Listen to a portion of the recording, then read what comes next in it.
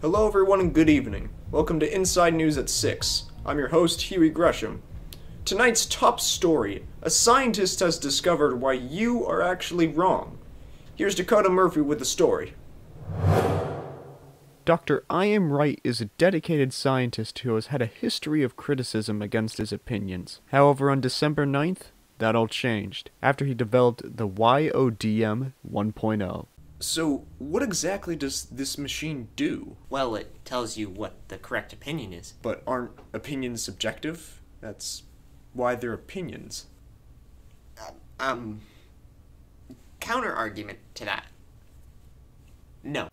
The machine works through incredibly complicated encoded matrices, digital hydraulics, and other made up science words that were used to fool me. Once you ask a question, it goes through all of these systems and determines whether your opinion is correct. Dr. Wright was able to give me a demonstration of the machine.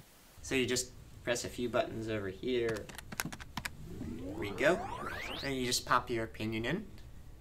Crushed avocados should not be eaten in public. That means it's correct. Why don't you try? Um, okay. Uh, musicals are overrated. So, why did you start researching this in the first place? A few years ago, uh, people told me my opinions were wrong, but I wasn't too sure how they knew that. How did they come to that conclusion? How did they know that my opinions were wrong? So I went and did extensive research and I looked into it so I could find what the correct opinions actually were. And I've, I found them. And then I just had to code them into this machine and now we really know what the correct opinions are. However, despite this incredible breakthrough in technology, not everyone is convinced. So, this is William T. Ferguson. He's a bland piece of garbage we picked up off the street.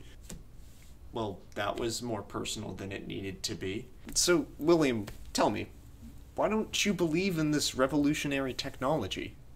Right there. That's that's that's my problem. It's not technology. It's it's a box that beeps.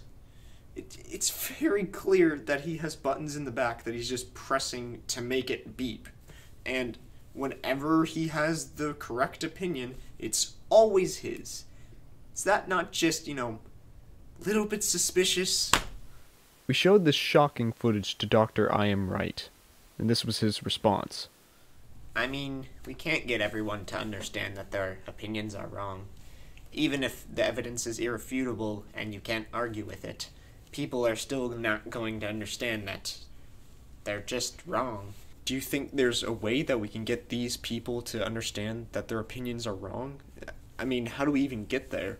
Well, I think the answer is time. We don't want to do anything too extreme, even if it's just some common that doesn't know what he's talking about and doesn't deserve to speak we, we should still give them time to process that info. Dr. I Am Right will soon be releasing videos of the machine, as he does not want the technology to fall into the wrong hands. That's all from me. I'm Dakota Murphy. Back to you, Huey. Thank you, Dakota. I'll be looking forward to those videos when they come out. Our next story involves the missing case of William T. Ferguson.